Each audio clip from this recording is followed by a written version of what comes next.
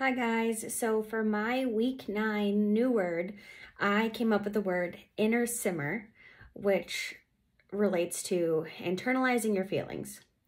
So I know a lot of us, or at least many of us, have experienced when we are overwhelmed with emotions, whether they're happy emotions, sad emotions, angry emotions, enraged emotions, whatever it may be.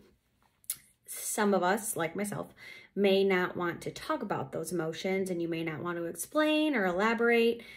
So, in that moment of time, you're inner simmering and you are internalizing and letting those emotions simmer until you are ready to talk about them, deal with them however you may choose. But that's my new word of the week.